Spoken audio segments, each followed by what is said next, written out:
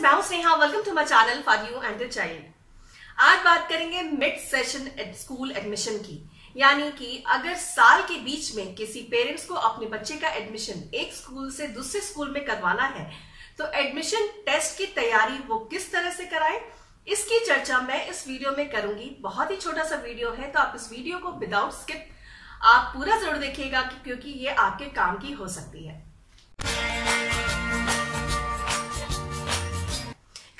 ऐसा होता है कि पेरेंट्स को किसी भी वजह से, चाहे उनका वो ट्रांसफ़र हो गया एक शहर से दूसरे शहर में, या फिर उन्होंने अपना घर, यानी रेसिडेंस चेंज कर लिया एक लोकेलिटी से दूसरी लोकेलिटी में, या फिर कोई और पर्सनल रीजन की वजह से, पेरेंट्स को अपने बच्चे का स्कूल साल के बीच में ही चेंज करवाना पड़ता है।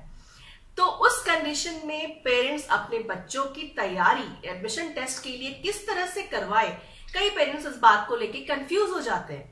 उन्हें ये कंफ्यूजन रहता है कि क्या वो जो सिलेबस है तैयारी करने का, वो जिस क्लास में बच्चा अभी पढ़ रहा है, उसके बेसिस पे करवाए या उसकी पिछली क्लास के बेसिस पे करवाए।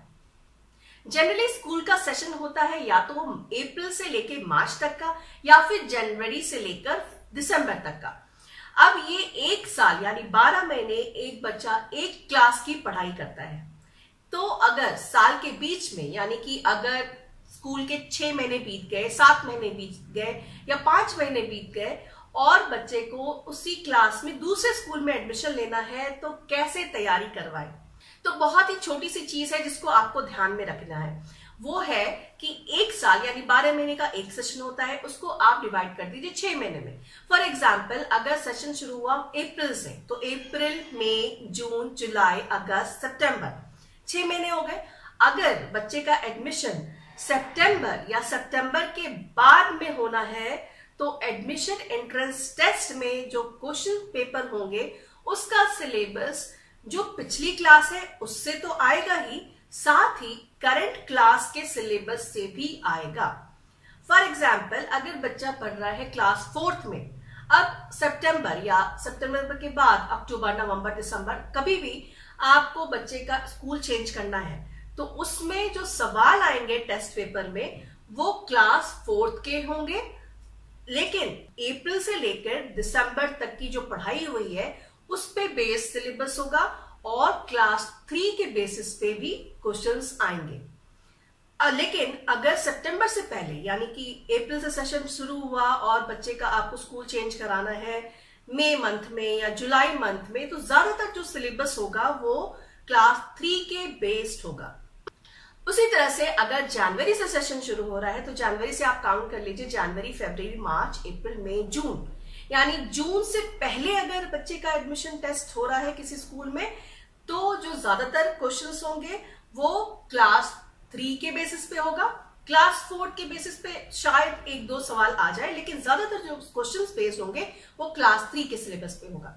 लेकिन अगर जून या जून के बाद, अगस्त में, सितंबर में या जुलाई में आप बच्चे का टेस्ट दिलवाते हैं तो उसका जो सिलेबस होगा, वो क्लास थ्री पे तो बेस्ड होगा ही प्लस क्लास फोर्थ में जितने भी मंथ बीत गए हैं, उसके भी सिलेबस से क्वेश्चंस आएँगे।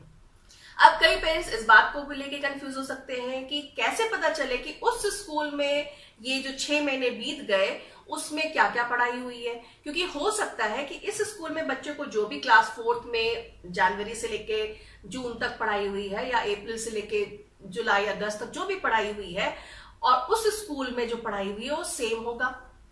तो इसमें आपको कंफ्यूज होने की कोई ज़रूरत नहीं है, क्योंकि अगर आप सेम स्कूल बोर्ड से बच्चों को चेंज करा रहे हैं फॉर एग्ज़ाम्पल अगर सीबीएसई e का स्कूल में बच्चा पढ़ रहा है और सीबीएसई e के स्कूल में ही आप चेंज करवा रहे हैं, या आईसीएसई e में पढ़ रहा है आईसीएसई में ही चेंज करवा रहे हैं तो आपको ज़्यादा परेशान होने की ज़रूरत नहीं है, क्योंकि हर एक स्कूल बोर्ड का एक प्रिस्क्राइब सिलेबस होता है हर एक क्लास के लिए।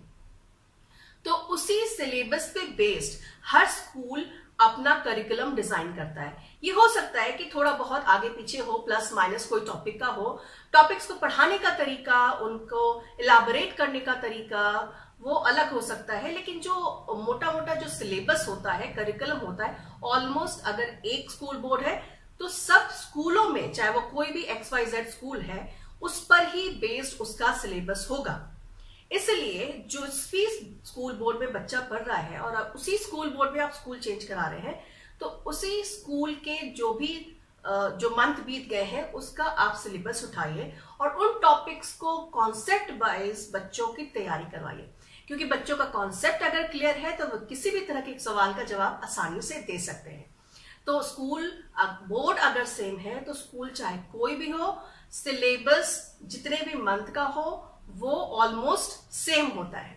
थोड़े बहुत टॉपिक्स आगे पीछे हो सकते हैं, लेकिन उससे आपको परेशान होने की ज़रूरत नहीं है। लेकिन हाँ अगर आप स्कूल बोर्ड भी चेंज करा रहे हैं स्कूल के साथ साथ फॉर एग्ज़ाम्पल बच्चा पहले सीबीएसई e में पढ़ रहा था, अब आप उसको आईसीएसई e में डाल रहे हैं या स्टेट बोर्ड में डाल रहे हैं तो थोड़ा सा आपको रिसर्च करना पड़ेगा।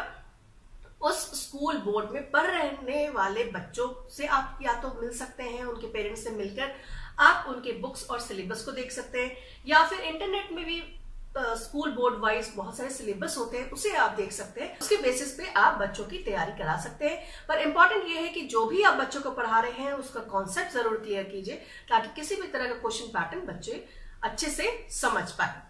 तो ये छोटी सी चीज़ है जिसको आपको ध्यान में रखना है जब भी आप बच्चों के स्कूल के एडमिशन इंट्रेंस टेस्ट की तैयारी करवा रहे हैं। तो उम्मीद करती हूँ फ्रेंड्स ये वीडियो आपके काम की होगी तो उसे लाइक एंड शेयर ज़रूर कीजिएगा और मेरे चैनल को भी सब्सक्राइब ज़रूर कीजिएगा। Thank you so much for watching this video